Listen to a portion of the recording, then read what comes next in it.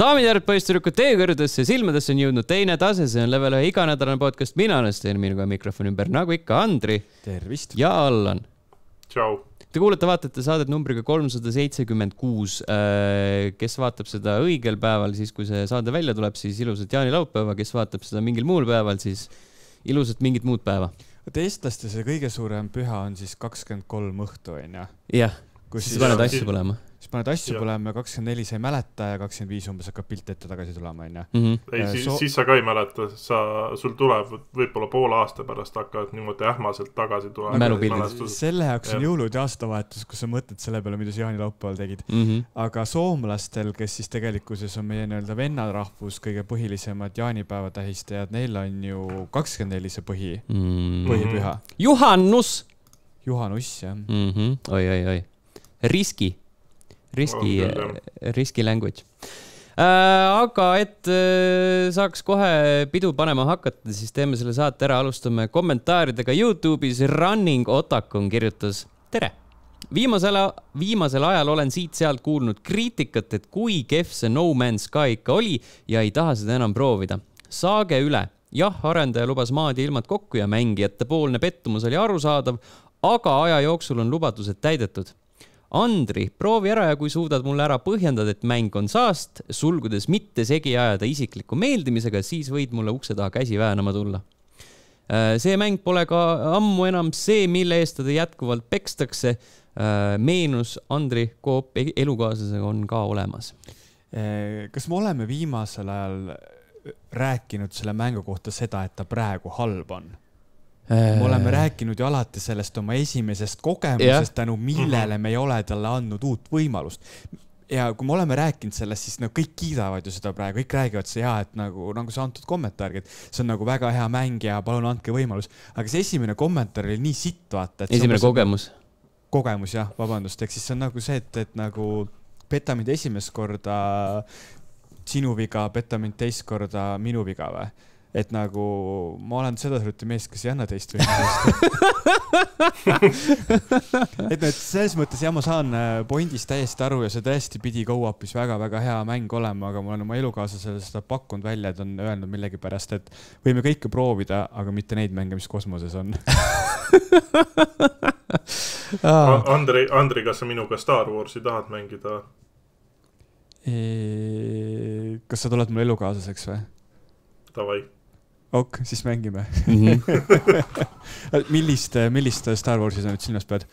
Äh, no ma ei ükskõik, tea, tahad, tahad, tahad sa nagu siukest äh, kinkimat Star Warsi või tahad sa Rogue Squadroni mängida? et ongi nagu kaks valikut ainult, kas Kinkim või, et ta siis Ki- Kinkim on see, kus lightsaberid on asendatud selle Saints Row äh, suure roosa dildoga või? Mhm. no näiteks jah. okei oi oh, jah uh,. Donissium kirjutas Discordis, Andri No Man's Sky on Gamepassis ja Ultimate'iga isegi X-Cloudis. see on siis uh, eelmise jutu jätkuks. Mm -hmm. mulle meeldib see, et viimasel kõik Discordi kommentaarid päris mitu saadet järjest on mulle suunatud nagu isiklikud rünnakud, vaata. ma saan aru, et mind on nagu Discordis vähe ja ma seal ei tekita neid siukest nagu dialoogiharjutusvõimalust ja kui millestki proovin osa võtta, siis tuleb välja, et need asjad on juba ammu ära postitatud, onju. Mhm. et siis mm -hmm. Ma nagu tõmban saba jalga vahele ja jooksen sinna tagasi, kust ma tulin. ei, see mul, mulle nagu kohati jääb see mulje, et vaata, noh, kuna Ragnar oli enne see nii-öelda kolmas, et siis, et see kolmas saab alati peksa, noh, mitte et meie Steniga ka vahepeal ei saa, aga, Mhm. aga üld, üldiselt on see kolmas alati see, kes nagu kui nüüd vaadata seda, kui mitu viimast saadet sind ei ole olnud koha peal ja me oleme Steniga siin kahekesti füüsilises stuudios, siis ma ütleks selle kohta, et sina oled praegu see kolmas. aga jah, ma saan ikka peksa. jah, asi on sinus ikka. jah, asi ei ole selles kolmandas staatuses. Äh, rääkides peksa andmisest, siis äh, Discordis kasutaja verihammas, mingi räme tont lihtsalt, ma ei tea, kes see tolgus on. see peab ikka olema mingi haige inimene. on, on, parandas mind, kahekümne neljandal juunil ilmub Three Hopes, saad jaanipäeval pohmakaga mängida. ja parandas Andrit, Joaquin Phoenix oskab laulda ka, mängis ju siiski Johnny Cashi. just. ma kusjuures ei arva, arvanud, et ta ise seal laulis. Äh, ta isegi võttis selle, selle jaoks jah, neid äh, laulutunde ja asju, et ta reaalselt päriselt ise laulis seal ka mm.. siis ma mõtlesin kohe selle peale, et oota, kui sa oled nagu nii suur, nii suure kaliibriga superstaar, siis sul peab nagu neid andeid olema rohkem kui üks. ehk siis, et mhm. nagu oskad näidelda, oskad mm -hmm. laulda, mõnel, mõnel, mõnel on lihtsalt suur peenis. et nagu sa pead nagu seda mitu X-i pead tõmbama nagu seal Excelis mm. -hmm. kui sul on suur peenis, siis saad kolm X-i tõmmata jah, ja lähed Maximasse saad äh, Oksmaaga koos töötada. jah, saad mm -hmm. äh, koormuse koukesi soodushinnaga osta mm. -hmm. Äh, jätkates Discordi lainel, siis äh, tehti ka piinlikke ülestunnistusi. Lassi kirjutas Dear Lord, I have sinned kolm viimast podcast'i on kuulamata. see, see on küll nüüd äh,, Lassi peab nüüd äh, minema kirikusse ja sinna pihitooli minema me mm -hmm. kusjuures e-spordi tegevuses oleme lahendanud seda probleemi niimoodi, et meile tuleb stuudiosse kast õlut saata. ma arvan, et mm. Lassi peaks ka midagi taolist tegema meile mm. -hmm. Ja Fimp Conte kirjutas, mul jäi vahepeal nii palju vahele, et ma ei julge Preslile rääkidagi. oi mm. -hmm. seal, siin juba aitavad äh,. kast viina. piitsahoobid. Soomest on natuke kallis kasti viina saata siia mm.. tervitused äh, Fim, Fim Kontele sinnapoole Soome lahte mm. -hmm. Tokst toksitud ühesõnaga, kirjutage, kirjutage ikka kommentaare, tunnistage üles, palju teil kuulamata on. Äh, podcast at level üks punkt ee, Discord, Youtube, Facebook, äh, kõik toredad kanalid. ja mulle väga mm -hmm. meeldib, kui tegelikult Discordis mind parandatakse mm. -hmm see nagu näitab, et mul on veel võimalus. ja kui te tahate teada, kuhu õlut saata, siis hooli, kirjutage Discordis. küsige aadressi. jah mm -hmm.. kas Eestis üldse see mingi, see pakiautomaadi teema on, mõtlen see, et sul on nagu. see PO box või? ja, ja, kas mm. see on teema Eestis või? seda ma ei tea, ma ei tea, kuidas sihuke asi töötaks et see on nagu tegelikult hästi mugav äh, selles kontekstis, et sa ei pea nagu midagi isiklikku välja jagama, ei aadressi ega telefoninumbrit ega midagi siukest mm -hmm. lihtsalt ah,. sa, sa mõtled see, et sul on äh, mingi kind-, kindel broneeritud see pakiautomaadi kohta? ta, ta, ta ei pea isegi nagu broneeritud olema, aga minu meelest seal vist äh, on mingisugune sihuke umbisikuline nagu vahendaja, et a la, et näiteks Omnival on sinu äh, isiklikud andmed olemas, aga mm. need, need, need on võrdsustatud mingisuguse umbisikulise koodiga. ehk siis, et kui keegi sellele koodile saadab midagi, siis äh, ta nagu isikustab sind ära. tead, mis Eesti vaste mm. on sellele või? Äh, naksitrallide muffi nõudmiseni. käid mööda Eestit ringi, küsid, kas mul on kirja? jah ma mõtlesin, sa hakkad mõtlema, et nagu mingi Balti jaama prügikast või What the fuck meie ärge sinna küll saatke õlut, see läheb sealt kohe kiirelt kaduma, enne kui meie jõuame selleni. see on liiga hipster. okei okay,, mm. sorry äh, jah äh,, need olid kommentaarid, räägime videomängudest äh,. Allan. nii? sul on seal taustapilt, räägi sellest taustapildist äh see on äh, Teenage Mutant Ninja Turtles äh, Shredder's Revenge mm, -hmm. mis siis ilmus äh, kuueteistkümnendal juunil ja on siis nii-öelda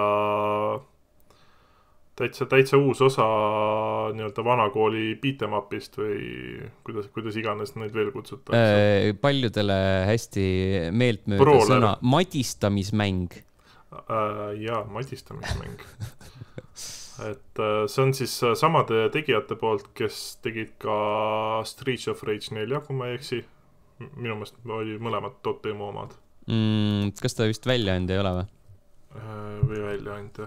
no igastahes äh, nii-öelda samast kohast on nad väljunud äh, mõlemad et... mm. -hmm. internetist. internetist, just aga ei, väga tuus mäng on selles suhtes, et äh, nad on äh, tabanud väga-väga hästi seda vanakooli Turtles'te äh, mängude nagu fiili. et ongi sihuke üsnagi nagu lihtsalt, lihtsakoeline, aga samas see kõik toimib, et äh, isegi soundtrack'id ja need on suht ajastu, ajastu truud, et äh, see oli väga tuus mm. -hmm. ja noh, kõige parem on muidugi see, et ta on lühike Uh, Tribute Games on selle arendaja stuudio loojate seas on ka inimesed, kes töötasid Scott Pilgrim versus the World the Game kallal. jaa, õige, õige.. Dotemu on väljaandja. jah. aga ei, selles suhtes, et väga soovitan, kuna ta Gamepassis on ka, siis Andri jälle mõtleb, et fuck, peaks Gamepassi korda tegema mm. -hmm. järjekordne episood, kus Andri mõtleb, eks ma siis teen ja siis kunagi ei tee. mulle mhm. pakuti mm -hmm. Youtube või tähendab Discordis väga hea idee välja, et äh, sellest võiks live stream ida ja kui ma proovin oma Gamepassi mm -hmm. korda teha yeah.. ma arvan, et sa võiksid kindlasti live stream ida ka seda, kuidas sa enda panga, pangakaardi andmeid sisse trekid. ja, ja üks asi on pangakaardi andmed, siis on igasugused need Microsofti kontod läbi yeah. erinevate mm -hmm. arvutite, oma mingi tööarvuti, mingi mingisugused asjad ja, ja, ja, ja nagu ainult head mõtted, noh. ja siis sa, sa võiksid teha seda IRL striimi ja siis näitad, kuidas äh,, äh, kuhu sa enda võtme paned ja, ja kuidas, kuidas äh, majja sisemine, sisenemine käib. ja mm. -hmm. ja see on väga hea idee. mis kell sa magama lähed. mis kell sa magama lähed ja mis kell sind, mis kell kedagi kodus ei ole. just, see, see on kõige olulisem, et mis kell sind kodus ei ole mm. -hmm ja ma proovin siia oma ka ühte mängu lisada, aga see on mobiilis jõhkralt raske äh,. aga, aga proovi äh,. mina olen aga ka, mina mängisin Teenage Mutant Ninja Turtles Shredder's Revenge'i läbi äh,. tegin selle esimese ringi sama õhtuga ära, kolm tunnikest ja mm. oli tehtud. ma muidugi äh, valisin selle chill'i raskusastme, et äh, ajakirjanik raskusaste tahtsin. ajakirjanik, ma ei viit-, no me ei hakka seda ju äh, arvustama, lihtsalt ütlen mm, -hmm. et tore mäng oli mm.. selles suhtes, et see chill raskusaste, ma võtsin ise ka selle, et puhtalt sellepärast, et kui ma kuskilt poole kõrvaga kuulsin, et see äh, need nii-öelda Scott Pilgrimi tüübid on ka seda teinud, siis esimene kartus oli see, et äh, tuleb väga raske mäng mm. -hmm. sest äh, Scott Pilgrimi üksi mängida on ikka nagu fucking raske. kas te antud mängu go-op'i olete ka proovinud või? ei ole veel jõudnud, aga on plaanis. jah et äh, see chill oli jah, üksinda läbimiseks oli sihuke isegi tsipa liiga lihtne, aga eks ma proovin meediumiga ka, kuidas see on mm. -hmm. aga jah, üldiselt äh, väga, väga tuus mäng ja nagu selles suhtes, et äh, ainukene võib-olla, mis, mis nagu minu jaoks sihuke kergelt võõras oli, oli see visuaalne stiil, et mulle nagu veitsa meeldib see vanade mängude stiil rohkem see on, uus on liiga, liiga. liiga puhas on. liiga puhas ja võiks siuke räpane olla. jõhkralt. sa võid mingi teleka või monitori ära mäkerdada omal mm. -hmm ai, ma mõtlen, et nagu võiks siuksed jõhkralt suured pikslid olla. võõpab kuvar rasvaga üle lihtsalt ega rasva puhul on vaata see teema, et see teeb veel pehmemaks seda kogu mm. pilti onju. Mm -hmm. sa peaksid noaga kriipima seda, siis sa kriibid äkki sinna mingid pikslid juurde. ja, aga siis sa tõmbadki lihtsalt, mõlemaga ei, lihtsalt rage quit ima ekraani sisse lööma ja siis vaata noh, mingi osa ekraanist jääb ikkagi tööle, et siis no,. oleneb, kuhu sa lööd, vaata, kus maalt sul nagu need äh, äh, elektrit edasi andnud pikslid on, et sul on võimalik ühe laksuga omal terve ekraan pimedaks ka lüüa mm.. Mm -hmm. nurka siis. nurka, jah mm. -hmm. jaa ma nii palju ütleks, et kui me korraks, kui sa juba mainisid Street of Rage nelja, siis äh, Street of Rage nelja äh, mängitavus tundus kuidagi selline, selline täpsem ja parem, et siin on ikkagi selliseid momente, kus äh,, kus sa nagu päris täpselt ei saa aru sellest hitbox'ist aa ah, jaa, seda küll, see, see oligi täpselt seesama, mis äh,, mis Tsipa on ka seal Scott Pilgrimis. noh, mitte küll äh, nii hull, noh, selles suhtes, et Scott Pilgrimis ei ole see ka nagu nii hull, aga nii nagu Tarmo väitis, et see on ikka totaalne pask. et seal, seal äh, nagu, et a la lööd, lööd tegelast ja siis tegelikult ei löö üldse pihta, et äh, et seda, seda ei ole, aga jah, selles suhtes, et Streets of Rage nagu kuidagi oli nagu tsipas ujuvam üleüldises plaanis ka, et see nagu mängitavus või see mm. -hmm. aga muidu ma paneks nad ikkagi suhteliselt kõrvuti. et noh, mõlema, mõlemal mängul on nagu mingid omad siuksed head ja halvad küljed, aga üldkokkuvõttes on nad mõlemad ikkagi väga head. jah äh,, äh, Turtlesil on muidugi see nostalgia onamise faktor. see on, no, see on ikka väga suur, see on ikka väga olemas. suur mm. -hmm. ja see on, see on lihtsalt nii suur, et äh, see, see pimestab see põhimõtteliselt oleks ka ainus põhjus, miks ma seda mängu tahaks mängida, siis see tonade kilpkonn äh,. mitte, mitte. okei, okei. see, seda, seda ei ole üldse, üldse üldse mitte võimalik võtta välja kontekstist ei, ma juba kujutan ette, mis see saate algusesse tuleb, onju, kas tõesti? ja nüüd algame päris saatega oi, Blinn oh,. peaasi, et Turovski seda saadet ei kuule kindlasti kuulab. tal sellest saaks šoki. kus, kus sa tead, äkki ta on salanohkar ja kuulab kuulab meie saadet. see oleks nii lahe, ma tahaks siinkohal mm, -hmm. ma viimane, viimane kord, kui ma temaga kokku puutusin, ta rääkis mingi kolm tundi mesilastest, see oli mm -hmm. nii mhm. põnev mm. -hmm. see on nagu, ta on mees, kes nagu tema ja siis see Vseviov. et need on nagu kaks mm -hmm. meest, kes põhimõtteliselt võivad nagu absoluutselt mitte millestki rääkida nii põnevalt, et sa lihtsalt nagu mm -hmm jääd kuulama. jah yeah., ja mulle, siis tuleb. mulle meeldib alati see, et äh, tüüp ütleb äh,, et ta looma, see mingi kindel loomaliik, et see on tema lemmik. ja nii iga kord mulle meeldib äh,, Andri kiidab, kuidas äh, Travski ja Sevjov räägivad mingist teemast kolm tundi ja siis tuleb Andri, ütleb, ma tahaks selle teema peale onada ei no kui me rääkisime nostalgiafaktorist, sellest, kuidas kilpkonnad las ta jääda, ma ei suuda seda ära päästa enam. see, see rong on juba läinud, see mm. teeb ainult hullemaks. Ona rong mm. -hmm oi Jeesus äh,, veel midagi, Allan? Äh, jaa, äh, sa rääkisid eelmises saates sellest äh, Tree Hopes'i demost, siis ma tegin ka selle läbi nädalavahetusega mm -hmm. ja ma ütleks, et see on, kui ma nagu alg-, selle aasta alguses ma tegin selle persona viis Strikersi läbi, siis ma mõtlesin, et selleks aastaks nagu musoga on kõik, siis see mäng tõestas, et ei ole kõik. et väga, väga hea on ja juba väga ootan seda et mm -hmm. ilmselgelt ma jaanipäeval seda kohe mängima ei hakka, aga. sest siis on pommakas äh,? mitte seda ilmselt lihtsalt kuna füüsiline koopia tuleb, siis ma kardan, et äh, selleks ajaks ei saa kätte seda mm. -hmm.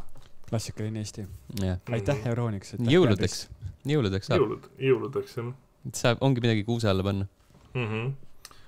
ja vist ah,, ja siis äh, Sniper Elite äh, kolm äh, mängisin ka. Äh, ja siis äh, olen Stenile siin privaatselt kurtnud, et jube sitt mäng on või nagu tüüt, tüütu ja äh, mida iganes, siis ma avastasin, et ma mängisin seda mängu kõige raskema raskusastmega. Nii muuseas jah? jah, sest ma mäletan, et seal vist oli nagu selle raskusastme juures oli midagi vist siukest kirjas, et kui sa nagu tahad tõelist elamust, et siis nagu vali see siis mõtlesin, et okei okay,, fuck it, et nagu viis oli nii tuus, et ma panen siis selle kolme nagu panen selle nii-öelda õige kogemuse peale, aga aga jah, päris, päris nagu raske oli ja siis, kui ma meediumi peale selle raskusastme panin, siis muutus mäng nagu mängitavaks ja väga nauditavaks. et ei olnud enam seda, et kuskilt kuskil kaardi keskel mingi tüüp juba kuulis ära, kui ma kaardi alguses liikuma hakkasin. Ja siis läksid alarmid käima, et et selles suhtes meediumiga oli tõesti palju parem mm. -hmm. ja see hakkab mul vaikselt läbi ka saama, et äh, viimane missioon ongi käsil muidugi jah, äh, selles suhtes, et üldkokkuvõttes on ta ikkagi nõrgem kui viis, sest seal siukseid nagu, mida eeldaks äh, suhteliselt ikkagi uuelt stealth mängult, siis seal siukseid nagu elementaarseid asju ei ole, et a la mingi äh, noh, sa oled aia taga ja siis sa tõmbad selle äh, natsi sealt üle aia ja tapad ta ära või midagi siukest, et äh, selliseid asju seal miskipärast ei ole.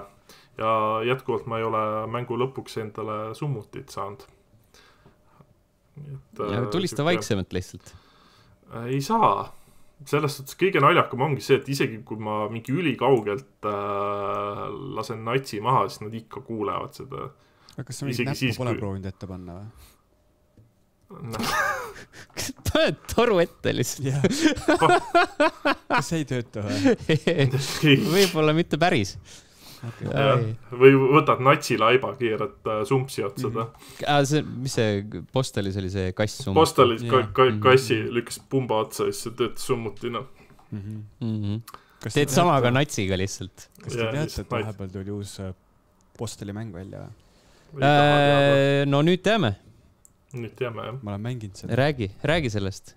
Postal, Postal Brain Damage, see on siis äh, klassikaline väga,, väga-väga klassikaline shooter, mis nii-öelda, ma ei tea, kuidas need õigused saadi, et nagu seda Postali nime ja seda peategelast ära kasutada aga sihuke väga ere, eneseirooniline ma ei tea, ma arvan, mingi paar euri maksab äh, Steamis, aga räigelt positiivseid hinnanguid saanud äh, shooter mm, -hmm. mis on sihuke, mm, kassi vähemalt mina veel seni pole relva otsa saanud panna aga seal on väga palju mingeid siukseid sarnaseid lahendusi tehtud, kus siis äh,. Jesus Christ, overwhelmingly positive äh,. kus sa siis pead läbi seina saamiseks kusema elektrikilbi peal ja siis see plahvatab ja noh, mingeid siukseid asju aga mis, mis ta hind on Steamis mm,? Steam'i hind neliteist, kaheksateist. jah, täpselt siuke. viisteist, äh, kuni seitsmenda juulini, viisteist prossa soodsam. see on nagu, kuidas nimetatakse neid äh, kaasaegseid äh, shooter eid, kas siis nagu, mis siis põhimõtteliselt, kas siis laiskusest või eelarvest tulenevalt on sihuke jõhkralt retro vaata, see on umbes seesama teema, et nagu mingi hetk põhimõtteliselt iga indie-mäng oli pikselgraafikaga mm, -hmm. sellepärast et sa said aru, et lihtsalt, et neil ei ole nagu animaatoritele raha maksta, sest pikseleid oli nii palju lihtsam animeerida, onju. et see kuidagi nagu shooter'ina läheb sinnasamma auku, aga tegelikult sihuke päris mõnus äh,. Boomer shooter äh,. Brain dead boomer shooter, jah mm. -hmm. Mm -hmm. lased seal mingisuguseid lendavaid päkapikke ja, kes sind loobivad purksidega ja aga cool. et äh, jaa, algus on sihuke hästi e-, eneseirooniline ja sellepärast ma proovisin seda, et mulle lihtsalt meeldib see, kui mängu intros sul juba põhimõtteliselt öeldakse, et see on kõige mõttetu mäng üldse ja et nagu mingi, mine tegele parem millegi asjalikumaga mm. -hmm. mida sa teed enda eluga mm? -hmm. Mm, cool, cool, cool, cool, cool, cool uh,. ja veel Äh, V-Rising on see, millega mina veedan oma kõiki nädalavahetu-, nädalavahetusi. ma ei saa aru, kas ma olen tõesti ainus oma elukaaslasega, kes seda mängu mänginud või? mitte keegi teine maailmas ei mängi seda. ei, aga nagu mul ei ole mitte kellegagi rääkida sellest mängust. kas ma pean ah, hakkama mõtlen... internetti minna uusi sõpru otsima mm -hmm. või? no see on sama ei, probleem sa, nagu Tarmol oli. sa võid välja teha, tee kõigile välja, osta see mäng kõigile siis vaata, palju mm, -hmm. paljud sinuga seda mängima hakkavad.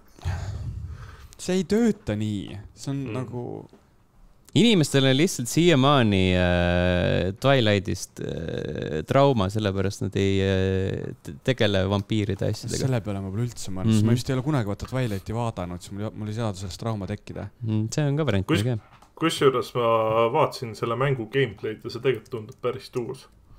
see on tuus. Andri, ma võin öelda, et kui ma kunagi Steam Decki peaks kätte saama, siis äh, siis ma äkki äh, proovin seda, juhul kui see töötab selle peal. peaks vist töötama, sa oled ju Steam Decki nüüd ju näppinud ka, kas sa räägid sellest täna natukene äh,? jaa, näppisin küll. kas sa tahad, ma räägin sellest praegult või saate lõpupoole?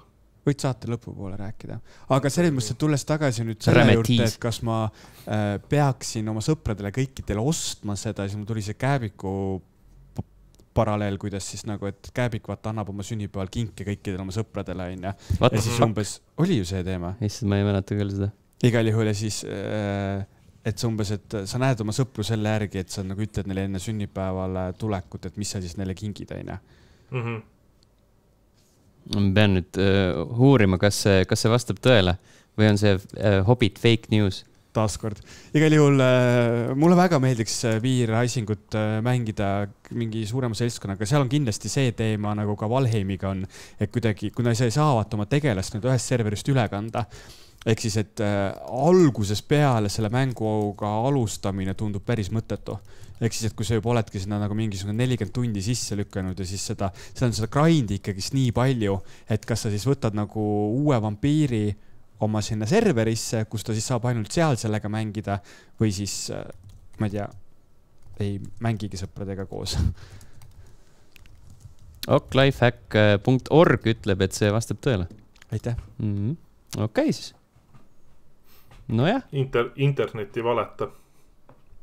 internet ei valeta mitte kunagi see on mm. nagu nii äh, imelik tunne, kui sa oled nagu mingisuguses väites nii kindel ja siis inimene, keda sa austad, nii väga, ütleb sulle, ma ei usu sind, ma pean kontrollima seda, siis hakkad nii räigelt kahtlema endas. lihtsalt, et nagu päriselt, kas ma olen elanud vales või? usalda, aga kontrolli. me kõik elame vales mm. -hmm. aga praegusel kujul sa ei usaldanud, sa lihtsalt hakkasid kohe kontrollima. näed, igaks juhuks okay. mm. -hmm. vaatajate-kuulajate huvide, huvide suhtes okay.. Mm -hmm mm. -hmm. ma nagu otsisin kohta, kus jälle nagu mingisugust järgmise saate jaoks mingeid kommentaare tekitada, onju, aga ei, sa pidid saate jooksul ära vastama. kohe selle... fact check. Andril oli õigus seega. tuleb ette, tuleb ette inimestele jah, aga kui sul oleks õigus olnud, siis nad tõenäoliselt oleks pannud, tubli ja siis sellest, see oleks enda teada jah? jah, sest sul on õigus, sul siin ei ole vaja kedagi äh, korrigeerida. pai tahaks ikka saada mm, -hmm. virtuaalset pai mm. -hmm. nagu ma teen kilpkonnadele see on midagi enamat juba äh,. aga ma olen ka mänginud asju äh,. lisaks siis äh, Turtlesitele mängisin äh, sellist asja nagu Demon Slayer Kimetsu no Yaiba The Hinokami Chronicles. see on. see on äh, mouthful It's a mouthful jaa. 3D äh, märulimäng, äh, millest ma rääkisin eelmisel aastal, võib-olla äh,, oli võib-olla eelmine aasta äh,. igatahes äh, siis ma mängisin seda mingi äh, kaks chapter'it, kokku on seal natuke rohkem neid. tükk aega olen mõelnud, et peaks selle läbi tegema äh,. nüüd nädalavahetusel võtsin selle lihtsalt ette ja, ja, ja hakkasin otsast pihta ja, ja lõppes sellega, et ma tegin selle täiesti läbi Äh, see põhineb siis äh, Demon Slayer animel, äh, täpselt samas stiilis, täpselt sama lugu, saad vahepeal ringi tatsata ja aeg-ajalt kakelda ja on selline 3D areenikas. aga mulle meeldib, seal on nagu hästi mõnus tempo, et neid kaklusosi ei ole üleliigselt palju, ei tüdine nendest ära, et seal on selline story lugu, story osa, vaatad, kuidas lihtsalt tegelased omavahel suhtlevad äh,. Ei pea isegi mingit nuppu vajutama, kõik käib automaatselt. ja siis äh, aeg-ajalt on sul mingi selline väike level, kus sa käid ringi, see on suhteliselt selline sirgjooneline või noh, mitte sirgjooneline, aga et äh, osad on sellised äh, natukene avatumad ka, et äh, saad mingites äh, oma suva järgi koridorides ringi käia, aga üldiselt nagu see sihtmärk on äh, kohe sul kaardi peal ette märgitud, et kui sa ei taha mingit äh, lisapahna otsida, mingeid äh, minikatsiine hiljem vaadata, siis äh, võid kohe minna sinna missioonipunkti juurde ja, ja jooksed läbi sellest. ja siis need äh, kaklusosad on sellised äh, võrdlemisi tempokad, lõpus läheb selliseks natukene tüütumaks, siis kui need vastased äh, hästi palju ringi kargavad areeni peal ja nendel on jõle lihtne pihta saada, jõle raske on leida mingit sellist momenti, kus nagu nende mm, äh, nende kaitsemaas on nii-öelda.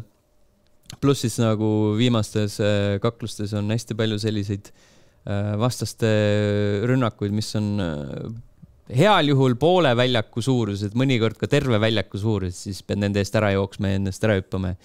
ma ei tea, et lõpus natuke, mõned viimased kaklused muutusid tüütuks, aga võib-olla see oli lihtsalt sellepärast ka, et ma olin seda järjest mänginud ja siis oligi sihuke siht oli silmes, et davai, ma tahan nüüd, tahan nüüd jõuda sinna Äh, lõputiitriteni ja siis, siis lihtsalt mind äh, takistati sel teekonnal mm. -hmm aga üldiselt oli tore äh,, sihuke mõnus üle keskmise mäng, ilus on vaadata äh,, aga veel ilusam on vaadata seda siis, kui see on anime äh, formaadis äh,. sellepärast, et seal on äh, noh, mängus on äh, kaadrid, kus nad on äh, jäänud liiga üksluiseks või nad ei ole viitsinud, noh, viitsinud on sihuke, võib-olla sihuke loaded äh, süüdistus, aga nad ei ole valinud seda, et nad äh, teevad rohkem äh,, rohkem lõikeid kaameratöös, et rohkem nagu mm. erinevaid kaadreid, et neil on lihtsalt üks pikk, pikalt äh, tegelane jaurab seal mingi pool minutit ja siis sa näed teda lihtsalt kogu aeg ühe külje pealt, et animes on see teema, et see on ikka. see võib olla stiil. jaa, aga see on igav stiil. nojah, see on täpselt seesama teema Pixar graafikaga. ma arvan, et see on nagu pigem, pigem ei ole stiil. ma ütleks, et ikkagi, et see on sihuke, ah, tuli selline mm. Et nagu, et seda on nagu lihtsam teha või nagu miks me raiskame aega, kui on võimalik ka niimoodi teha aga see ongi vist nagu anime ja pärisfilmi vahe, sest et pärisfilmis sellised äh, töötavad pikad plaanid, eriti kui need on näiteks a la mingi filmi või seriaali alguses, seda mm -hmm. nimetatakse misantseeniks äh,. seal on, äh, selles mängus on siuksed, äh, siuksed stseenid, kus äh, sa tead, et anime puhul äh, see tüüp, kes on seljaga parasjagu mm, -hmm. mida sa vaatad seal ekraani peal, et see anime puhul on ta nagu näoga, sa näed, kui ilmekas seal on, mingid äh, action käib, on ju seal näos. aga siin mängus sa lihtsalt vaatad selja tagant, sellepärast et nad on otsustanud, et ah, me teeme võimalikult vähe neid lõikeid okay, siia okay mm. -hmm. ehk siis, äh, kui te tahate kogeda Demon Slayer äh, Mugen Traini, mis on äärmiselt emotsionaalse lõpuga, tõmbab iga kord pisarad välja, siis äh, Hinokami Chronicles ei ole see õige koht selle jaoks. seal, seal ei, väga ei kisu pisaraid, kui sa vaatad kuskilt kaugelt neid emotsionaalseid stseene. ilma vastavata, ilma vastava vajaliku näomiimikata ja siia lõppu veel ka siuksed asjad nagu Nickelodeon All Star Brawl. Äh, see oli hiljuti tuli PS plussi, proovisin ära, see on Nickelodeoni tegelastega Super Smash äh, laadne kaklusmäng. see on suhteliselt kesine oleks võinud hea olla. oleks võinud hea olla, jah. selle mängu peale kogu aeg mängutöö kontekstis mõelnud, aga kui ta on pask, siis on ta pask, noh mm -hmm no ta ei ole nagu pask-pask, aga ta on lihtsalt selline eh. seda äh, enam ma tegin paar korda, mõned matšid tegin. odav koopia siis nii-öelda. Eh, jah, enam-vähem ja, alles hiljuti jõudis sinna see hääl näitlemine, et nad olid mingi aasta aega või pool või ma ei tea kaua äh, lihtsalt niisama laksisid seal üksteist, ilma et keegi oleks matši ajal midagi öelnudki tegelastest mhm. mm. -hmm. Äh, aga, aga tegelasi ka vist ei ole nii palju kui Smashis, mis on, ma ei tea, korraga hea ja halb äh,. Aga ma tegin esimese mängu puhul, ma ei saanud mitte M-igi aru, ma isegi ei saanud aru, kus kohas ma ise ekraani peal olen äh,. niivõrd raske oli äh, vahet teha, kõik sulasid kuidagi sinna tausta sisse ära ka see on niisuguste mängude puhul tavaline, sest et see ongi orienteeritud sellele, et su nagu ekraan on nii kirju ja värviline, kõik toimub igal pool ja siis, et nagu, et umbes nagu Mario karti mängida esimest korda, aa, ma olen see sõitja peale seda. sa oled keskel, Mario kardis sa oled keskel, seal ei ole mingit siukest teemat. ei, ma ütlen, kui sa mängid, vaata nagu mingi neljakesti näiteks, et aa, et ma olin see seal vasakul all nurgas. ei, aga see on juba sinu probleem, et sa ei no, tee vahet, et sa unustad, sa valid enda tegelase, sa unustad ära, et ahah, kas ma võtsin Ahvi või Mario. sa tegelikult kogu aeg valisid valesti, vaata, kõik valivad, onju. sina arvasid, et sa valisid kedagi teist. jaa, ühesõnaga Allstar Brawl, Nickelodeon Allstar Brawl äh,. ma eeldan, et sa peaksid olema mingi hardcore Nickelodeon fänn, et seda äh, täiel rinnal nautida. praegu ta on lihtsalt sihuke ühe õhtu meelelahutus ja siis never again äh,. ja sama. no kui ta PS, PS plussis on, siis yeah., äh, siis väga vahet ei ole ka ju. jah, ei olegi vaja never again sinna naasta mm. -hmm Äh, ja viimasena Roller Champions, äh, mõnda aega tagasi tuli välja, see on see Ubisofti äh, rulluisutamismäng. see on nüüd väljas? see on nüüd väljas, jah okay.. see on see, mis sa selle kuradi raja peal lihtsalt sõidad mm, -hmm. sõidad ringi ja viskad palli, palli rõngast sisse mm,. sa pead ühe ringi palliga, palli hallates ära tegema, et punkti saada ja minu üks testmäng näitas et äh, see on äärmiselt keeruline ning inimesed lihtsalt ei viitsi seda matši lõpuni mängida ja lähevad enne minema kusjuures ma. see juba eos näeb halb välja. ei, ta, ta nagu, seal on mingeid selliseid momente on, kus tundub, tundub, et oh, see oleks, see võiks nagu päris lõbus olla. sa saad äh, seal niimoodi enda äh, kiirust suurendada inertsiga, vaata, kui sa lähed nagu sinna, sõidad sinna kuskile üles ja siis tõmbad ennast lükki mm -hmm. ja saad nagu suurema kiirusega alla tulla, et nagu see tunne on nagu tore. Äh, teiste vastaste, vastaste sisse nagu rammida on ka nagu kind of fun, aga lihtsalt, et see kogu see kontseptsioon, et see on nagu äh, kogu see mats ongi see, et äh, sõidate üksteisele sisse ja mitte keegi ei saa seda ringi täis ja siis, kui sa saad selle ringi täis, siis sa oled nii jähmis, et sa ei saa seda palli sinna rõngasse, siis sa jäädki sinna mingi kuradi kahekümneks minutiks lõksu ja siis inimesed lihtsalt tõmbavad nahku sellepärast, et see kuradi kogu kontseptsioon on niivõrd fucking igav lõppkokkuvõttes mm. -hmm. ma mängisin selle beetat kunagi ja siis seal oli täpselt seesama teema, et põhimõtteliselt ma vist ei saanudki mitte ühtegi mängu lõpuni mängida mm -hmm., sellepärast kõigil oli nagu nii ükskõik, et jah, proovivad ära, onju. et noh, et ma saan nagu sellest äh, arenduskoosolekust aru, et nii, Rocket League on hästi popp, meil on ka nüüd midagi yeah. vaja. mõtleme ka mingi spordi välja. kui see pall on hästi oluline, pallist saavad ju kõik aru. ja siis äh, sa võiksid nagu liikuda millegagi ja siis, aa, et aga rulluisud ju ka liiguvad, onju, nii onju, aga et nagu kas nad siis ise proovisid seda või et nagu neil on see e, nagu ülevalt poolt see juhtimise stiil on nii halb, et sul nagu peabki kõik asjad meeldima, mida sa teed või et nagu, kuidas mm -hmm. sa seda mängu välja lasid? ma ei tea ühesõnaga, see on nüüd olemas ja, ja vist on tasuta, peaks olema tasuta, onju. sest ma ei maksnud selle eest raha, siis ta on tasuta äh, kes tahab, see proovib, äh, siis saab aru, et, et kõige kindlam viis võita on see, et viskad ühe korvi ja ootad, kuni aeg läbi saab.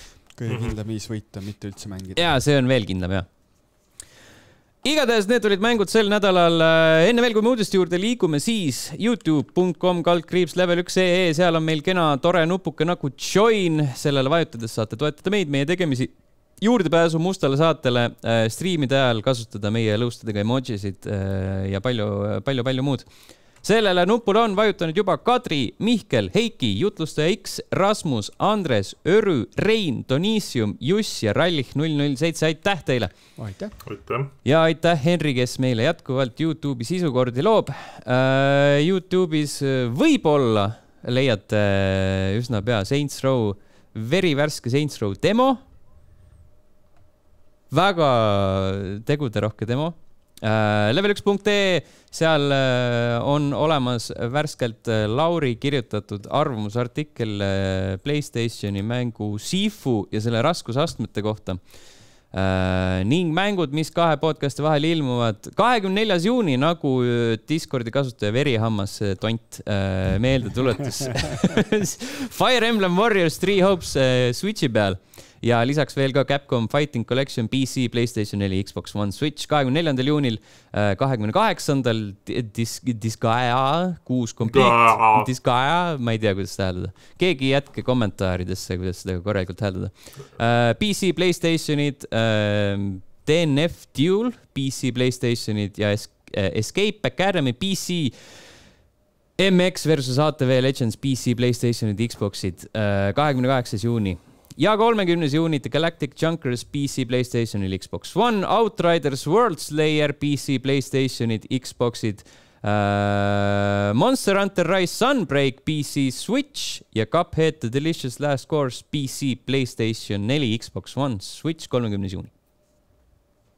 Allan, kas sa Sunbreaki demo ei proovinud või proovisin küll, kusjuures jaa Äh, aga selles suhtes mul ei ole seal nagu hetkel midagi väga nagu rääkida, sest ma ei tea, mulle tundus hetkeseisul more of the same mm.. pluss see, et nad on jälle demo teinud üliraskeks.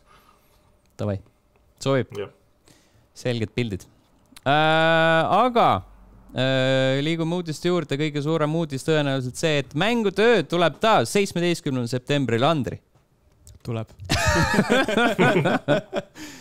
kusjuures nagu ma olen enda meelest sellest äh, sügisese ürituse kuupäevast nagu ma ei tea, paar viimast kuud väga avalikult rääkinud. no aga nüüd see on nagu, ekstra avalik, kindel. selles mõttes, et äh, kusjuures ka Apollo kirjutas mulle täna hommikul, et aa, te nüüd hõikasite ürituse välja või? teeme siis seal, jah? okei okay,, tore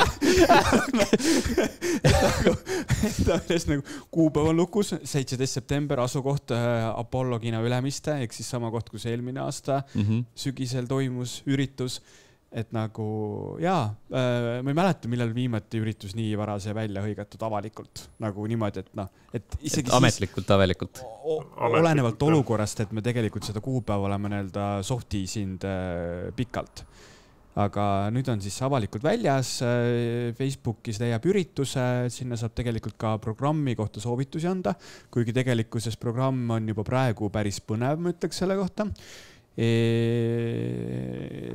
Andri, ma tahaks korra soola haavale raputada, et äh, kas sa oled korralikud telekad ikka seekord otsid välja?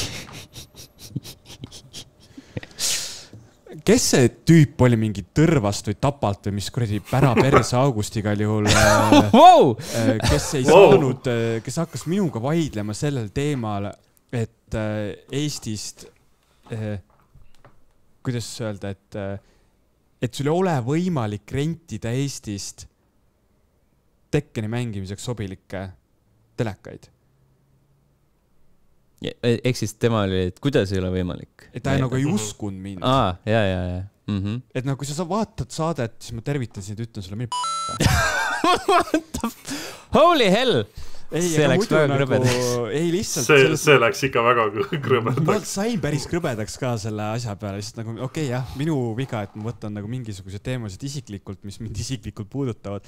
aga telekatega tegeleme, tegeleme kahest kohast praegu sellega ja mm. kui me isegi ei peaks sellises mastaabis äh, telekat sinna saama, siis me läheme lihtsalt monitoride teed ja tellime suurema kogu saademi splittereid selle jaoks, et kõik need äh, olulised mängud telekate peal saaksid oluliselt mängitud, mitte telekate, vaid mm -hmm. siis ekraanide pealt antud kontekstis mm. -hmm mina käisin seal event'i all ka välja endapoolse soovituse, et teeb võistluse Days Gone'is et kes leiab rohkem peno.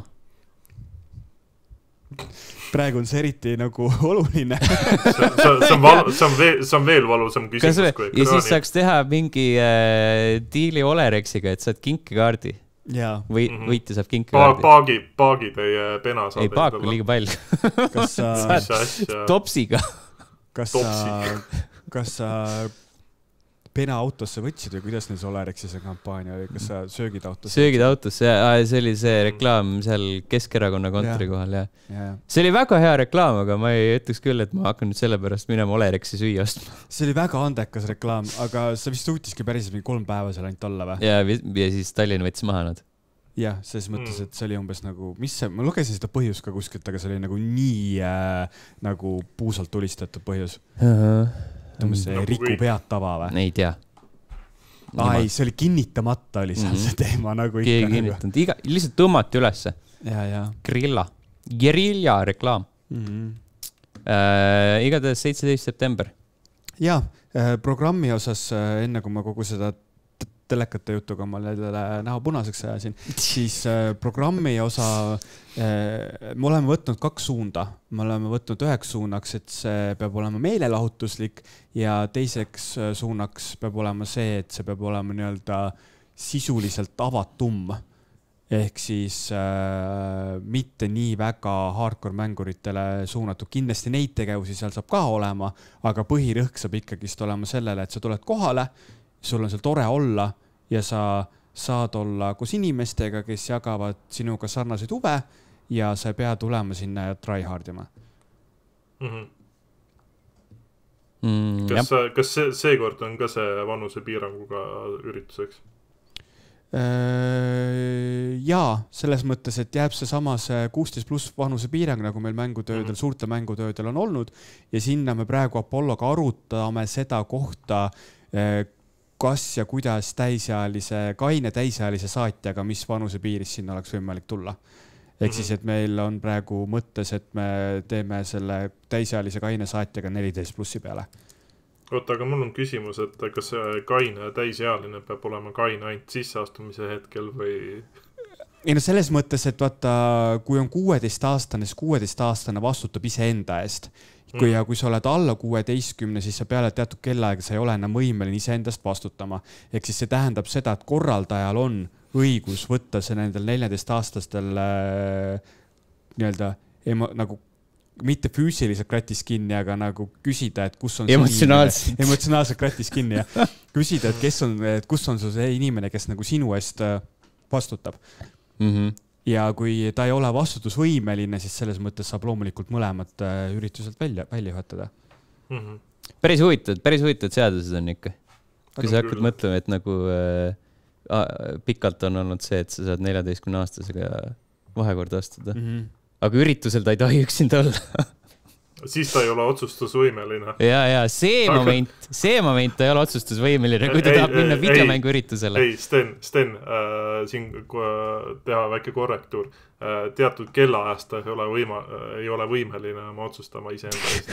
sa pead nagu enne ära otsustama täiesti, siis asjad ära tegema ja jällegi rohkem. ja selles mõttes, et ma ütlen ka, et need seadused on natuke, natuke nagu nihestatud, kui sa võtadki kasvõi selle USA näite onju, et nagu mhm. kuueteistaastane mm -hmm. saab pool automaati poest osta, aga alkoholi juua ei tohi. jaa seal vist oli alles kakskümmend üks tohtis juua. Jeesus Kristus. see ei ole niimoodi, et sul nagu mingisuguses osariikides tohi, vaid sul ongi nagu mitte üheski osariigis ei tohi.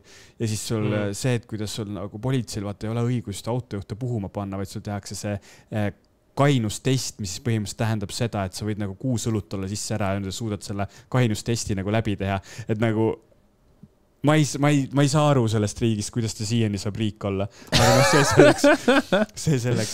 igal juhul äh, mängutöö seitseteist september, äh, mängutöö üritusele jääb Facebookist, varsti tuleb ka kodulehekülg ja sinna me hakkame järjest erinevat sisu postitama. Nendest esimene tegelikult ilmselt saab olema mängutöö äh, räpi loo remix'i konkurss mm. -hmm. ehk siis äh, Steni äh,, vabandust äh,, Kapten Fantastiline nelik ja äh, issand, kui piinlik. on küll jaa.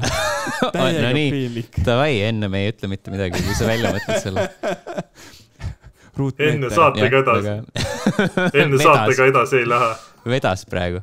see oli, äh, see oli see paus, kus sa saad see trummipõrina panna, jaa. ruutmeeter äh, Nende, nende loole on võimalik äh, remix'i teha ja sinna paneb Stanford Music auhindu välja ehk siis äh, saab, äh, saab kätt proovida äh, remix'iga mm. -hmm vot siis äh,. hoidke silma peal, igatahes me liigume edasi, räägime sellest äh,. tegelikult lähme selle teema peale, mis äh, alati väga palju kirgi kütab. Diablo Immortal, raha, Diablo Immortal äh,. väidetavalt kahe nädalaga koguti kakskümmend neli miljonit dollarit ma ütlen ausalt öeldes, ma olin väga šokis sellest uudisest. tõsiselt nagu inimesed on haiged. ma vaatasin mingisuguseid videoid, kus siis a la seesama näide, et äh, kes kui palju selle mängu alla nagu raha kulutanud on ja kui sul juba üks nagu Youtuber ütleb, et on siin mingi kakssada tonni alla lükanud, siis nagu see kakskümmend neli miljonit tuleb päris kiiresti kokku niimoodi et kui sul ja. on juba nagu neid eh, sisuloojaid nii palju, kes oma selle suva Youtube video või striimiga teenivad rohkem kui see kakssada tuhat, mille nad sinna Immortali alla lükanud on, siis nagu who the fuck cares noh. see on, eh, see on eriti sihuke mm, debiilne, debiilne ring, sellepärast et sul on eh, need Youtube erid kütavad sinna meeletus hulgas raha ja siis kurdavad, et fuck, miks tehakse selliseid mänge, kuhu peab meeletus hulgas raha kütma mm? -hmm. Mm -hmm. ma just vaatasin no, siin äh,, otsisin, leidsin ühe uud, uudise äh,. Uus-Meremaa striimer Queen69 äh, lükkas mängu alla viisteist tuhat ja siis, kui ta sai selle ühe mingi legendary gem'i kätte, siis äh, protesti mõttes kustutas mängu ära okay. siis mõtlesin, who gives a fuck sellest protestist, sa andsid neile viisteist kilo mm. -hmm. nagu millise PC mängu peale sa suudad äh, nii palju raha panna? ei no kindlasti suudad, onju, aga kui me räägime sellistest headest mängudest, mis maksavad täishinda siis on ei nagu..., aga mi, mi, mis need on, need kuradi train simulaatorid ja asjad, kus, kus sa kuradi, sul on aastaga mingi kakskümmend viis erinevat DLC-d, mille ühe tüki hind on paarkümmend eurot nojah, aga sul ei tule nii palju kokku mm. -hmm. nojah jah, sul on nagu kindlasti mingisuguseid mänge on, kus sul on a la kakssada viiskümmend DLC-d onju mm, aga need ei ole kindlasti niivõrd suured raha, rahalehmad. ma ei tea, selles suhtes, et see on, see on lihtsalt nagu selles mõttes on see kurb, et äh, noh, see mäng on noh, ütleme niimoodi, et ta on keskpärane ja siis, kui mm -hmm. sa veel sinna nagu annad hagu juurde ja lihtsalt maksadki tuimalt mingeid tuhandeid eurosid, ma ei tea, milleks. sest see ongi see, nad on osa probleemist, nad on nagu tekitavad, laiendavad seda probleemi ja siis ongi noh, kakskümmend neli miljon teeninud, loomulikult tehakse mingi uus sihuke analoogmäng. mis sellise mängu eelarve võis üldse olla? kui me räägime siuksest suurest keskmisest mängust, kuuskümmend miljonit. kolm viiskümmend. no ma ei tea, Diablo, Diablo kolme asset'id ja lükkad telefoni peale mm. -hmm. üks ja äh, annad ahvidele banaani, kes seal ühes toas kinni on äh, kirjutusmasinatega. just. ega see võiks nagu täitsa, täitsa huvitav uurida, palju Immortali eelarve võis olla Bu. Budget. Budget, Budget, vaatame, kas kus, kuskil on äh.... spekulatsioonid või mm? -hmm õiget summat, kuigi ta on nagu börsiettevõte, siis tegelikult me õiget summat niikuinii teada ei saa mm. -hmm. see on ju ärisaladus Ritseri saladus. aga ma ennustan puusalt, et umbes viisteist kuni kakskümmend viis miljonit võis selle mängu eelarve olla mm.. oota, seda tehti ju tegelikult päris kaua. see ju kuulutati välja, millal see oli, mingi kaks tuhat kaheksateist või mm, kaks tuhat kuskil millalgi, vaata, vaatame kohe äh,, Diablo Immortal. Diablo, El Diablo. Aga nagu me teame minevikus, siis väljakuulutamine. kaks tuhat kaheksateist, jah äh,. mänguga töö alustamine tihti ei ole üks ja seesama asi. ei, seda kindlasti mitte, aga noh, lihtsalt ongi see, et see nagu mi-, mingi siukse enam-vähem ajavahemikku sa ikkagi no, saad. Cyberpunk kaks tuhat seitsekümmend seitse sellest me ei räägi. no aga see on väga hea näide sellest, kus sa võid mängu välja kuulutada niimoodi, et sa hakkad mingi kolm-neli aastat peale seda alles mängu kallal tööd tegema. et nagu ma üldse imestaks, kui see Diablo mingi viimase aasta jooksul kokku klopsitud lihtsalt äh,. lihtsalt, lihtsalt ootasid. ah kurat, tegema sest, peab ka midagi. sest mm -hmm. Diablo kolmega ju oli täpselt seesama asi, et mingid asjad ju hak hakati ka ju vist alles launch'i ajal hakati fix ima mm ja no see on nagu mina vaata, et luban, et äh, jaa, kohe saab ja siis sellel ajal hakkan, sellel hetkel hakkan tegelema alles mhm. asjaga mm. vot siis äh,. vahepeal kuulutati asju välja äh,. Final Fantasy seitse äh, remake teine osa äh,, mille pealkiri on Rebirth äh,, ilmub järgmise aasta talvel ja, ja see ei ole viimane Final Fantasy seitsme remake, vaid see on teine osa triloogias mm. -hmm. väga entusiastlikud. eks see, nagu- eks see rahamasin peab ju käima. kas Final Fantasy seitse oli see kõige legendaarsem Final Fantasy? jah. Okay. ja, aga selle esimest äh, remake'i ju kiideti mm. -hmm. ei, see oli väga tore ja siis nüüd ei, ta oli väga, väga hea mäng, lihtsalt ta ta oli osa nagu sellest äh, originaalist.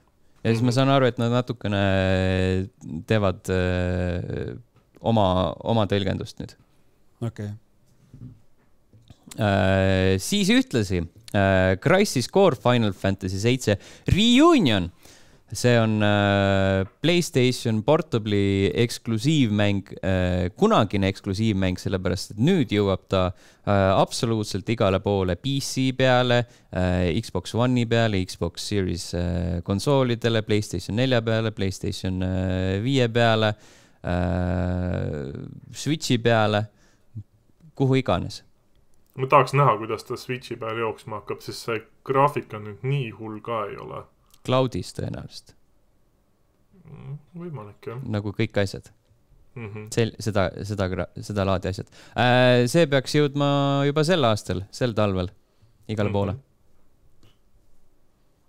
tore mm. -hmm. ja siis mingid, mingid Final Fantasy asjad olid veel äh,, mida ma ei mäleta, mingi, mingi chibi versioon seitsmest ja, ja jumal teab, mis veel. see, nad viieteistkümnes tegid ju ka selle mingi chibi versiooni mis asi on chibi versioon? see no, põhi, põhi, suurte peadega ah,. Okay, põhi, põhi, põhimõtteliselt nagu popfiguuridega mm. -hmm.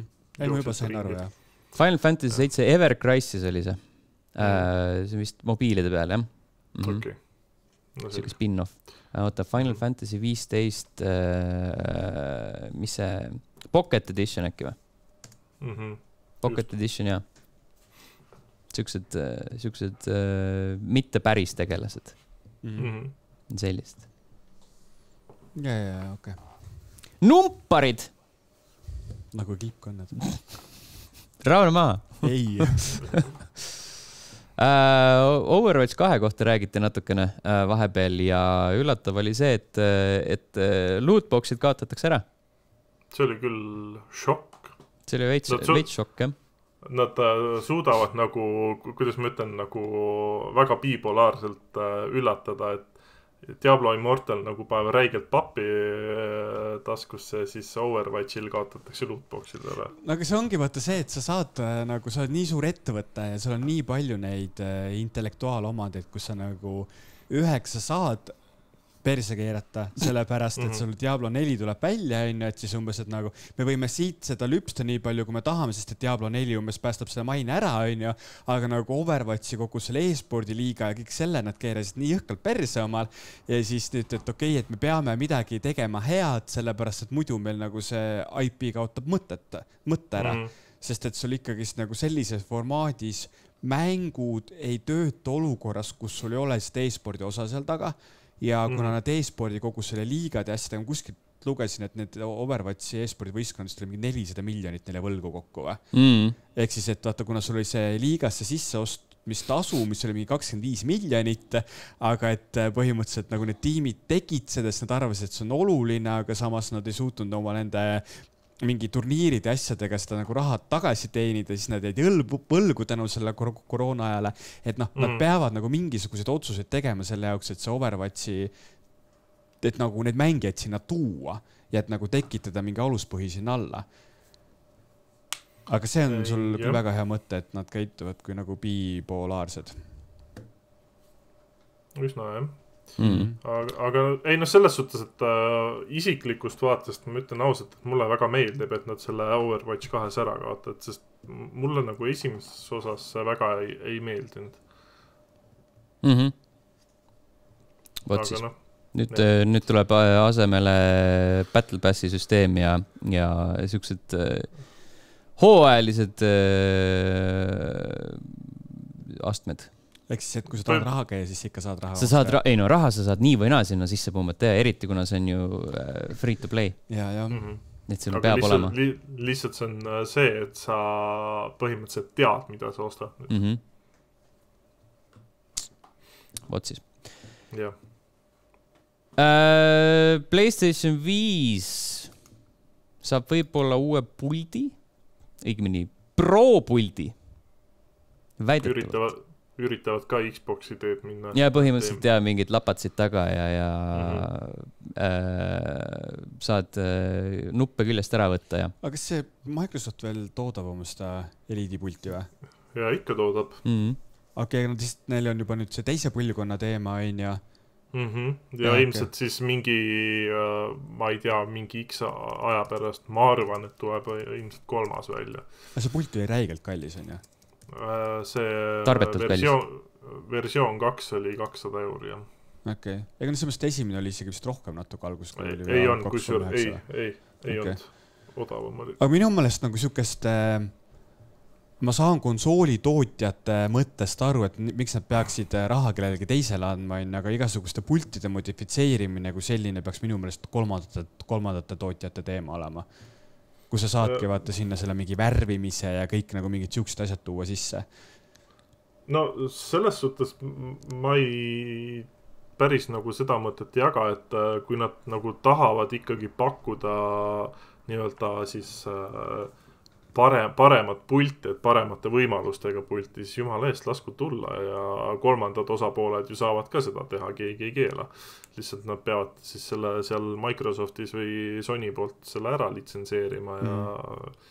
ongi, ongi korras, aga lihtsalt see, et äh, minu jaoks see suurim probleem on see, et esiteks nad on röögatult kallid ja mm. teiseks mm. nad on palju sitemad äh, kvaliteedi mõttes kui, äh, kui nagu tavapult et äh, noh, mul endal on mõlemad need äh, kuradi Xbox'i Elite-puldid on olemas ja noh, see versioon kaks nii-öelda hakkab juba vaikselt äh, nagu hingusele minema, et need taga need kuradi lapatsid enam ei tööta korralikult ja et nagu ausalt öeldes kahe, kahe aasta peale on või kahe-kolme aasta peale on see natukene nagu kehv tulemus niisugune kaks sotti maksta kaheaastase puldi peale, jah, see on tõesti päris kehva. jah, ja sa, sa, samal ajal kui mul mingi see, mis konsooliga kaasa tulnud pult, see peab äh, kõik kukkumised, mis iganes äh, mm. nagu jõhkrad mängusessioonid vastu aastaid, siis, siis ma ei tea. äkki see ongi see, et sa oled nagu eliit ehk siis elitist, sa tahad rohkem maksta see on ja, parem ma... pult, sest ma maksin selle eest rohkem ja, raha. tõesta mulle vastupidist mm. -hmm. ei, see, ei, selles suhtes ma ei hakkagi tõestama, vaid ma just praegu ise ka mõtlesin, et võib-olla tõesti ongi see, et sa lihtsalt sa maksad selle eest, et tunda ennast elitistina mm. -hmm. tunda ennast paremini. või siis mm -hmm. nagu kui Playstationi saab siis see pro puldi nimeks olla, et tunda ennast nagu professionaalina, et sa oled professionaalne mm -hmm. mängur, kes maksab peale mm. -hmm. või noh, niikuinii kõik on kallis. kuigi Playstationi praegune pult on sitaks hea. on küll, jah. jah, ma just äh, siin nädalavahetusel sain ka uuesti PS5 pulti korra näppida ja siis mõtlesin, et fuck, see on ikka väga hea pult mm. -hmm. mida sa veel vahepeal näppida said pärast räägid pärast räägin aa, mõtlesin, et praegu oleks päris hea üleminek. ei ole, ei ole või? ei ole. meil ei ole muidu seal lõpus mitte midagi. no vabandust, vabandust. meil on veel äh, väga olulised uudised nagu see, et Starfieldi äh, põhilugu on kakskümmend protsenti suurem kui äh, eelmised Betesta mängude omad. ehk siis umbes kolmkümmend, nelikümmend tundi, kui sa ei tee kõrvalasju. okei okay. mm -hmm.. Skyrim oli ikka natuke pikem ju. no kui sa tegid kõrvalasju. kui sa hakkasid moodima. kui sa hakkasid moodima mm. aga, aga Todd Howard ütles, et Skyrim ja Fallout neli olid ikka väiksemad. mul selle Star, Starfieldi osas on nagu nii sihuke vastakad tunded, et iseenesest nagu tundub tuus, aga, aga lihtsalt see, et ma ei kujuta ette, kuidas, palju seal oli, tuhat planeeti oli yeah. kokku? täpselt tuhat. Mm, täpselt mitte rohkem, mitte vähem. Todd Howard isiklikult luges näpuga kõik üle, mitu just. korda et äh, kuidas nad nagu mõtlevad äh, seda sisu seal pakkuda, et. ei no sisu on sul kolmkümmend, nelikümmend tundi nagu, see jääb siis kui mitu minutit iga planeedi peale aga seal on need äh, Interstellari reeglid, osa plane-, osade planeetide peal on see, et sa oled seal mingi viis minutit ja siis tegelikult on mm -hmm. läinud juba tunde ja tunde. aa. -hmm ei, aga selles mõttes. Need on kõrvalmissioonid, äh, need Interstellari reeglid on ainult kõrvalmissioonide planeetidel. oota, aga ma nüüd tahan arvutada, nii, meil on, ta oli kolmkümmend kuni nelikümmend tundi jah yeah.? Mm -hmm. ütleme siis nii kolmkümmend kuus. kuskil kakskümmend viis sekundit umbes. nii, korrutada kuuekümnega, nii, see on siis minutis, korrutame veel kuuekümnega.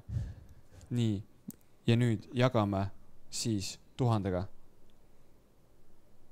sada kakskümmend üheksa koma kuus sekundit keegi palun kontrollige see matemaatika üle ei nagu noh. muidu pärast on jälle see Ragnari moment, kus ta peab mingi kolm pluss neli on kuus või mis iganes see oli, oli. ei no selles mõttes, et aga sa ju üt, ütlesid ka, et mingi sada kakskümmend sekundit. ei, ma ütlesin kakskümmend viis sekundit mm aa, mina sain see praegu. ma, ma ei ole, ma ei ole, ma ei ole kindel, sest ma ei ole matemaatikas äh, tugev. no mm -hmm. ütleme niimoodi, et äh, piisavalt äh, sekundeid selle jaoks, et saada aru, et need planeedid on mõttetud. jaa, aga kas sa pead mm -hmm. sinna sisse arvestama ka selle, need laadimisaknad, kui sa lähed planeedilt äh, kosmosesse ja tagasi, sest seal ei ja. ole ju seda seamless seda värki. oh issand see oleneb su SSD-st nüüd ju. siis sa tõmbad, ja, ja oleneb, mis masin selle, masinal sa mm. mängid, võib-olla jõuad need planeedid läbi käia, võib-olla mitte. ei, seal on see, Sten, seal tuleb see, mängule tuleb klausel juurde, et äh, et vast-, vastavalt sinu seadmetüübile võib see kogemus erineda mm. -hmm. see on nagu see, oota, mis see oli, vaata, et äh, selles äh, pähklikreemis võib leida pähkleid ja siis paned mm -hmm. sinna Starfieldi juurde selle, et äh, avasta tuhat planeeti ja siis tärnike, planeete võib olla vähem äh, osa planeedid võivad olla peaaegu täpselt samasugused yeah. kui, kui selle päh-, pähklikreemi asjaga tuletasid hea meelde, et kunagi oli see kuskil, ma ei tea, mingi Nutella või mis iganes see oli. Nussa äh, nussa jah, kuradi mm. pähk, pähklivõi võib sisaldada pähkleid.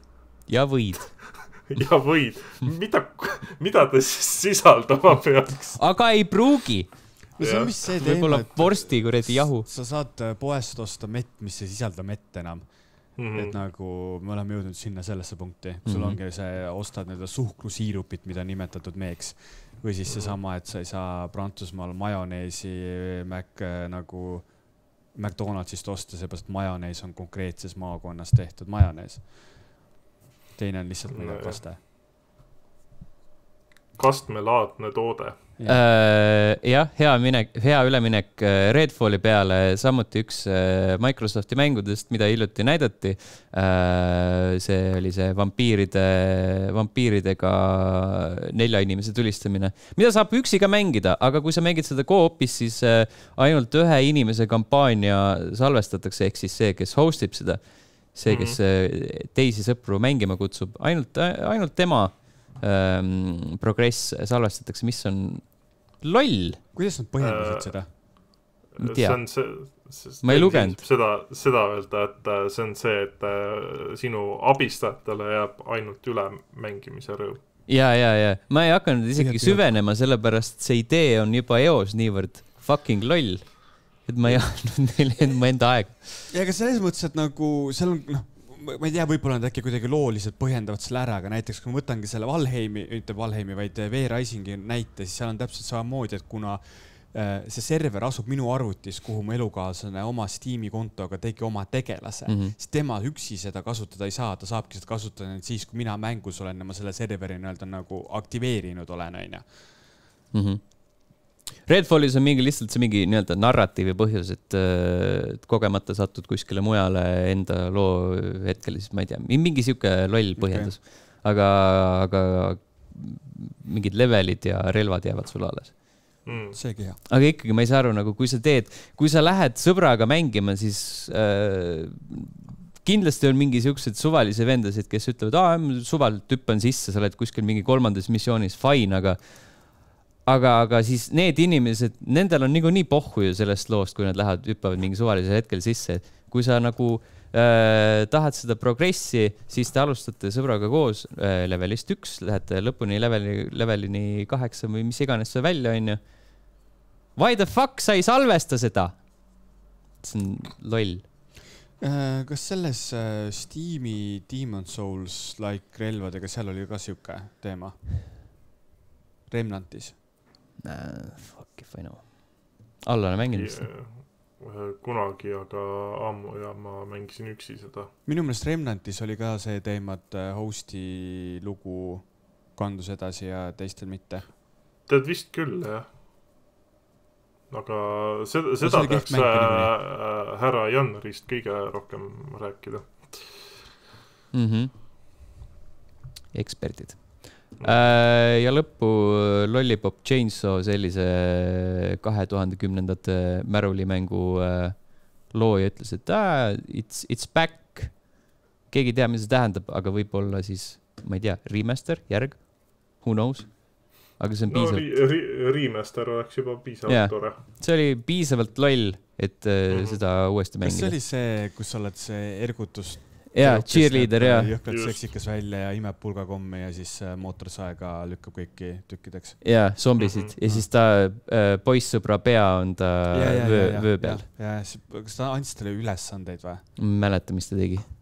aga ta oli kaasas. enne, enne kui God of War täpselt sedasama ideed kasutas, aastaid hiljem. milline rip-off äh, God of War pole, pole midagi siin äh, ees, eesrindlik mm, -hmm. unikaalne. ma mäletan, Lollipop Chainsaws oli selline achievement, et sa pidid sellele tšikile äh, seeliku alla piiluma või üritama vähemalt piiluda ja siis ta pani käed ette. ja siis, aga noh, see oli selline ajastu mm,. see oli siis, kui veel sai nii teha, jah me vaatame elukaaslasega Sõpru praegu uuesti, tema vaatab esimest korda ja siis seal on väga palju siukseid nalju, mis pole hästi aegunud liiga palju. Mm, -hmm. kaasa arvatud kõik need vaheklipid, kus on kaksik, kaksiktorne näha. Vau, äh, need olid uudised. Allan, räägi, millised on Steam Decki muljed? Äh, Steam Decki muljed on äh, väga head äh, selles suhtes, et kui siin vahepeal tituleeriti ta nii-öelda Switch killeriks, siis, siis mingis osas ma sellega nõustun. et kuna ikkagi sa saad nii-öelda neid multiplatvorm mänge saad mängida palju parema kaadrisageduse, graafilise või noh, graafilise graafiliselt siis äh, siis on see, see on tõsi, aga noh, Nintendo jätkuvalt ikkagi müüb hästi enda nii-öelda originaalmänge ka. et selles suhtes, et äh, ideaalne kombo oleks mõlemat omada. aga mm -hmm. ütleme, ütleme niimoodi, et see nagu käes istub esiteks väga hästi ta ongi nagu palju ergonoomilisem ja ta ei ole selline, et kui sa nuppe vajutad, siis et sa kardad, et sa need nupud sealt nii-öelda puldi koha pealt siis nagu läbi vajutad. et on ikkagi sihuke korralikust paksust plastikust tehtud. et ainukene võib-olla, mis selle Steam Decki puhul veidi häiris, oli ventilaator. see kippus üsna, üsna valjuks minema osade mängude puhul. seda on väga mitmes kohas räägitud ka jah. jah, et ütleme niimoodi, et jah, ta läheb soojaks küll, noh, selles suhtes, et see masin ise nagu läheb kergelt soojaks, et ta ei lähe nagu tuliseks. aga lihtsalt see ventikas hakkab nii jõhkralt tundama, et äh, tekib täpselt see efekt, nagu sa mängiks äh, mänguri läpakaga. mis vuhiseb ka sul korralikult mm.. aga mis nad on ägedalt teinud, on äh, neljakümne hertsi mode. Ehk siis noh, nagu selles suhtes, et enamasti ikkagi nagu uuemad mängud sul äh, ei jookse Äh, seal peal kuuskümmend kaadrit sekundis, et siis ongi see, et paned äh, mängu neljakümne hertsi peale. Sorry, oota, oota, oota, ootame kohe, kohe. mis sa teed seal? Omaette. Äh, selgus, selgus Rail Balticu Pärnu reisiterminali nimi Pärnusse rajatava Rail Baltica reisiterminali nime konkursile laekus kakssada kolm ettepanekut. Žürii valis neist viis nime välja ning tuhande kuuesaja osalejaga rahvahääletus otsustas, et reisiterminali nimeks saab Pärnu.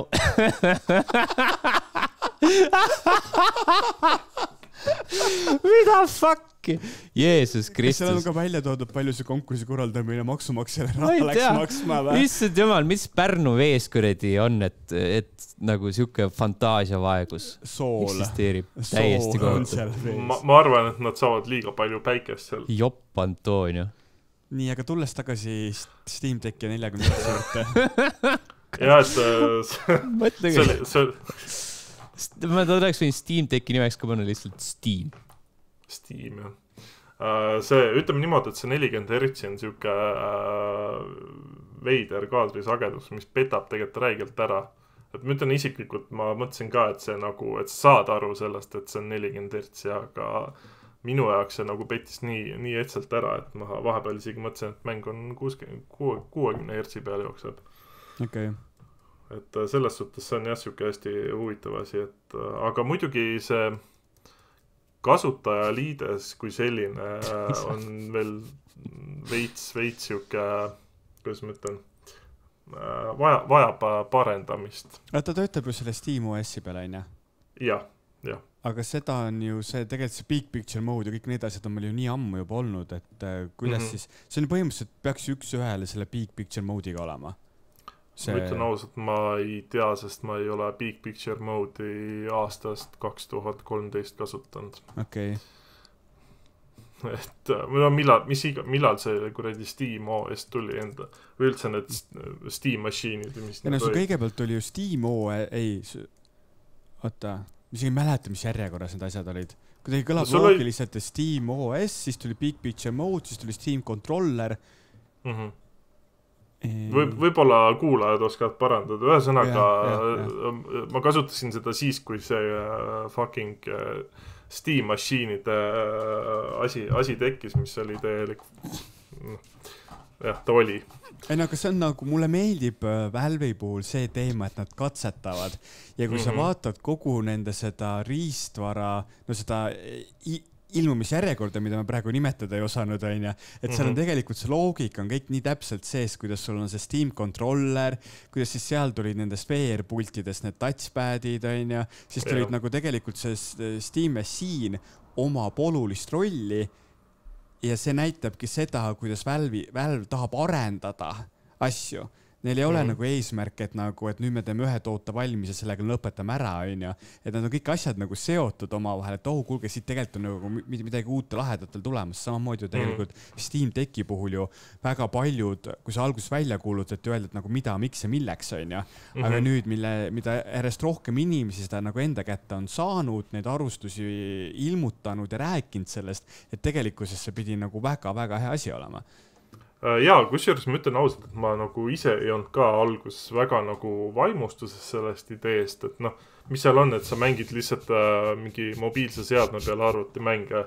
aga kui ma nagu reaalselt mängisingi selle Steam Decki peal Half-Life kahte ja asju nagu, mida ma ei ole väga ammu mänginud mm, -hmm. siis see oli nagu päris tuus, et sa saadki äh, nagu kaasaskantava seadme peal siukseid mänge ka mängida mm. -hmm ja suureks üllatuseks näiteks oli ka see, et Capcomi mängud Monster Hunter ja see äh, Resident Evil kaks jooksevad seal nagu laitmatult hästi.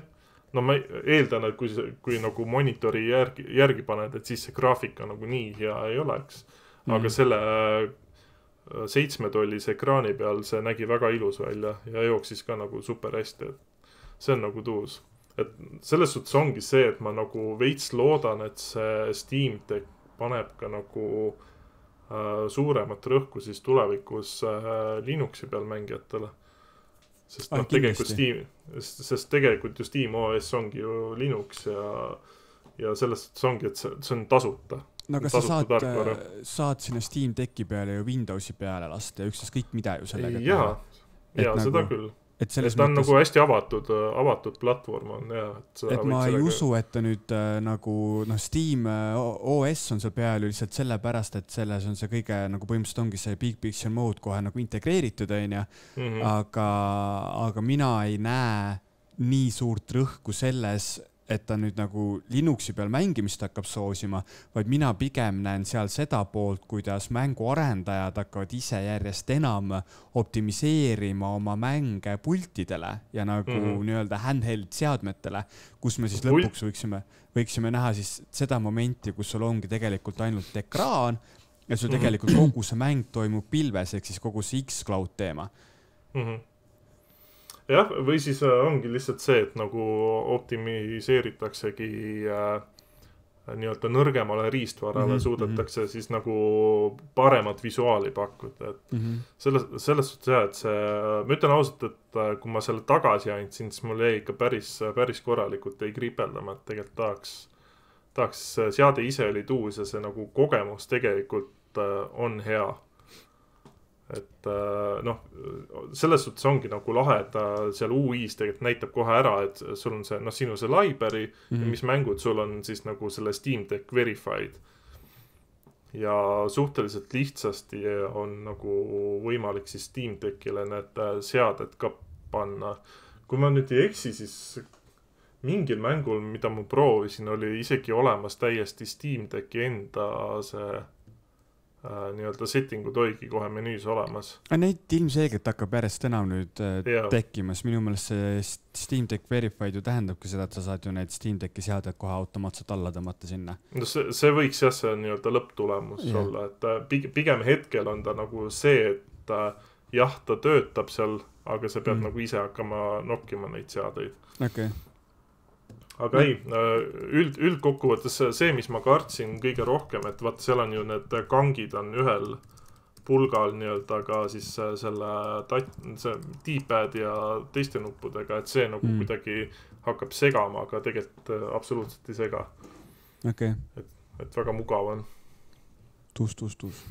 aga noh, see hind, hind on küll sihuke, et nagu ta on veits krõbe. krõbe?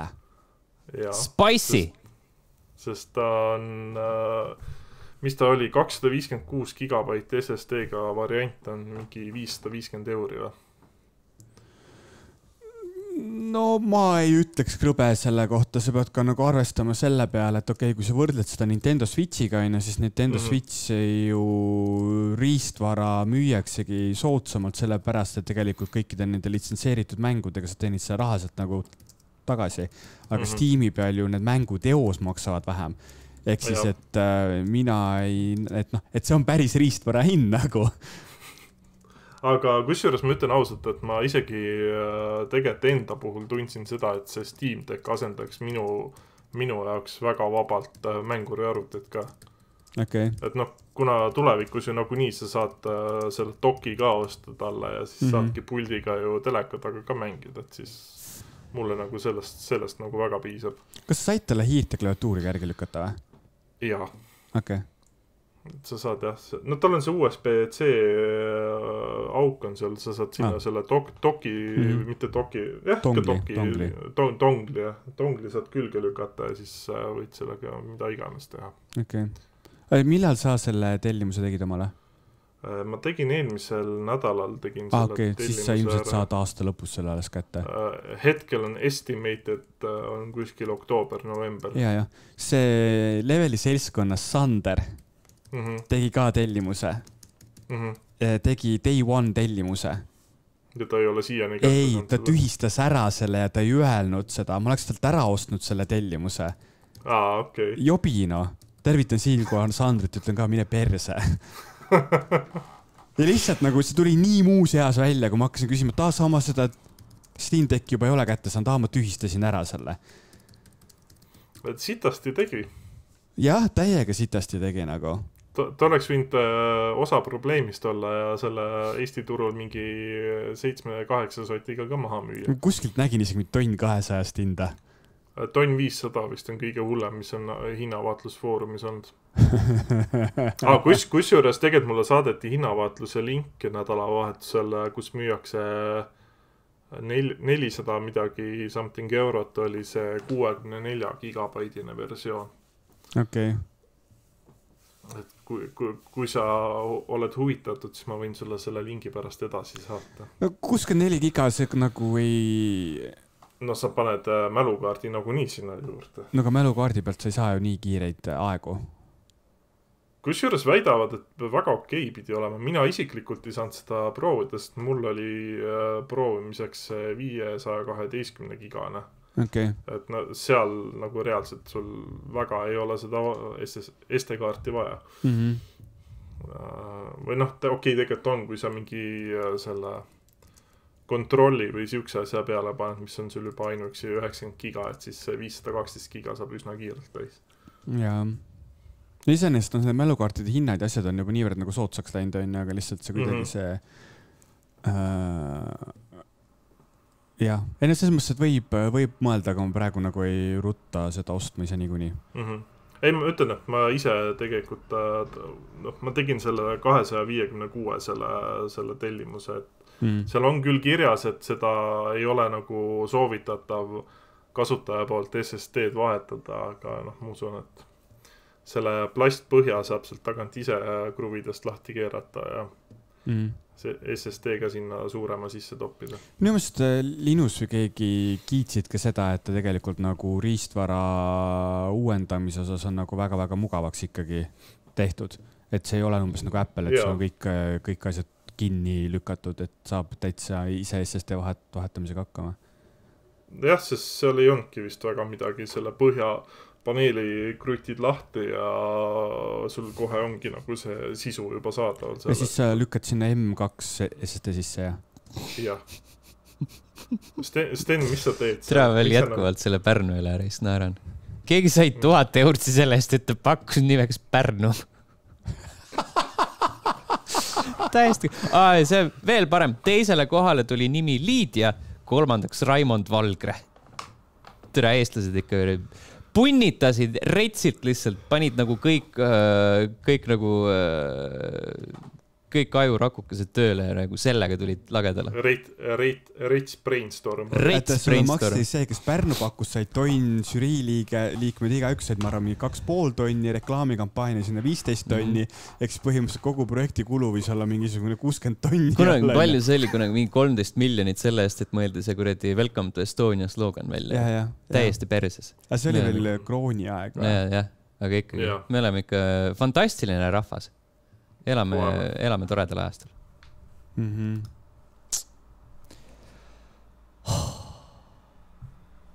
aitab küll. Pärnu. Pärnu. Pärnu, Pärnu. Steam, Steam, Steam Tech ja Pärnu. väike puust linn on Pärnu mm. -hmm. Uh, loodetavasti oli teie, teie lõkke põletamine mõnus Meel,. meeliülendav. meeliülendav. soe. kohtume järgmisel nädalal, kui mitte Pärnus Äh, mitte segamini ajada selle linnaga, vaid äh, Rail Balticu, Rail Balticu äh, ter-, terminali nime peame silmas praegu jah. et kui Pärnus ei kohtu, siis kohtume järgmisel nädalal siinsamas. tšau. tšau.